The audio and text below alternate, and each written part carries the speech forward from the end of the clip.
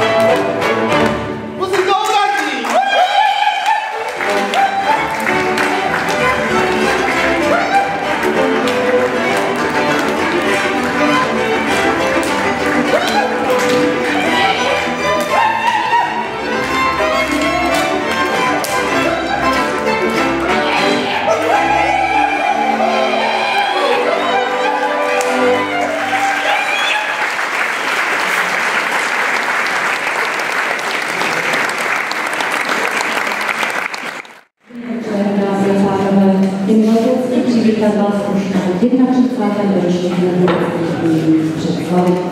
Děkujeme za podporu místu předslavy a také mi dovolte, abych tady přivítala vedení místa. Vítáme pana starostu pana Dominika, krásný dobrý večer. A také všechny tři místo staroství Jaroslava Válku, Zdeňka Urbana a Milana Vojtu. Krásný dobrý večer. Docházku máme za sebou, tak teď snad jenom mé přesvědčení, že i nadále zachováte přízeň našim akcím nejenom ve Staré Břeclavi, ale i v jiných městských částech. Původní vystoupení se vám představil národopisný soubor Břeclava. Bylo to, eh, bylo to pásmo hody na podluží, jehož choreografii vytvořil zakladatel souboru dr. Juška Koucí. Eh, dnešní úpravu pro vás připravil současný vedoucí Břeclavanu František Juráš. To vše za doprovod balové muziky Břeclavanu s primášem Františkem Vaškem.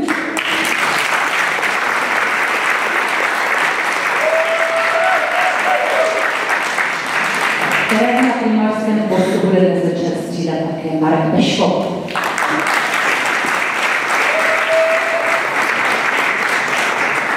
Soubor vznikl v roce 1954 a ve svém repertoáru zachytil mnohé formy lidového umění nejen svého kraje, který podluží, ale také ty, které s ním bezprostředně souvisí. Ohnivé zmárové tance sousedního Slovenska nebo pohraničních oblastí Dolních Rakous a některých dalších folklorních regionů Moravy. Za mnou chvíli uvidíte pásmo Barnína choreografii Jaroslava Martinka, opět upravenou Františkem Jurášem. Zaspívají vám také solisté Břeclavanu, Zuzana Martinková a Jiří Herzán. Eh, dovolte mi, abych tedy Břeslavan ještě na úvod trošku pochválila. Není to proto, že bych vás chtěla samozřejmě trápit dlouhým úvodním slovem, ale vyrábím tím prostor tanečnícím Břeslavanu, aby se stihli převést z toho velkého podloží do Mánesáku a mohli tak zatančit tu slibovanou Marínu. Soubor dlouhá léta spolupracuje s československým a později českým rozhlasem a televizí. Natočil gramofonové desky, CDčka a se svým uměním navštívil téměř všechny evropské země. V roce 1985 se stal například laureátem festivalu Strážníci, velmi významná je jeho účast na mezinárodní folkloristické soutěži v Dijonu ve Francii v roce 1990. Tam získal náhrdelník burgundských vévodů, což je jedna z nejprestižnějších evropských cen této kategorie. Během posledních let se Soubor pravidelně zúčastňuje různých folklorních festivalů u nás i v zahraničí. Tam se pravidelně umístuje zpravidla na předních místech.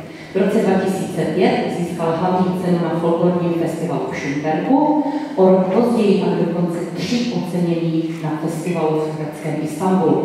Bylo to za nejkrásnější projekt, za nejlepší muziku a také hlavní cenu festivalu. Dámy a pánové, déle už vás zdržovat provodním slovem nebudu, jsou pro vás připraveny předslava a také v průběhu večera vám představím našeho vzácného hosta, poklonu soubor Eli Pověhan.